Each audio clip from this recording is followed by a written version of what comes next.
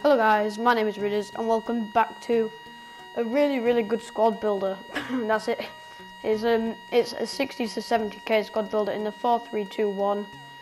Um yeah, so let's get into it. In goal we have Diego Alves, who I some of the a lot of these players I did use in last squad builder.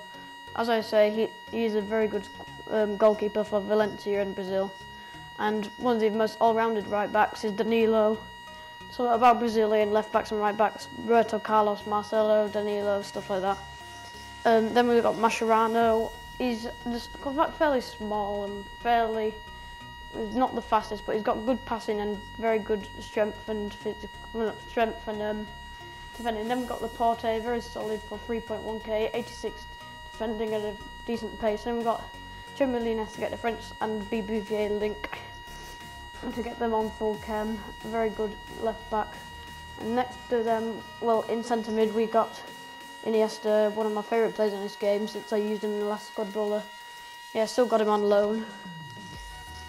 Then we can have Gross Goretzka, how do you say it? He's a, he's a very good silver, six foot two, four star skills, four star weak foot, almost 70 over everything, very good silver for centre mid. Next, you can have just any German in the Bundesliga. I went with Lars Bender because I've uh, just used him before. He's fairly good. High, high work rates, good defending, almost 70 pace and stuff. So he's fairly decent.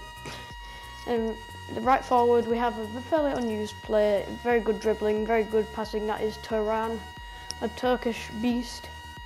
He has decent shooting, good physical, decent pace. Yeah, he's got three goals in one game for me, which you'll see the highlights of in after this.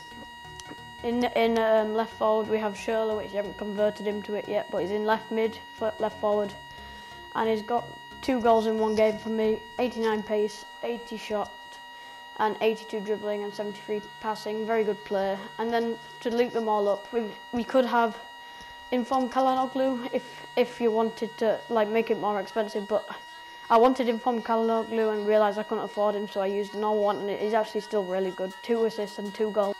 That is the team, and let's get into the highlights.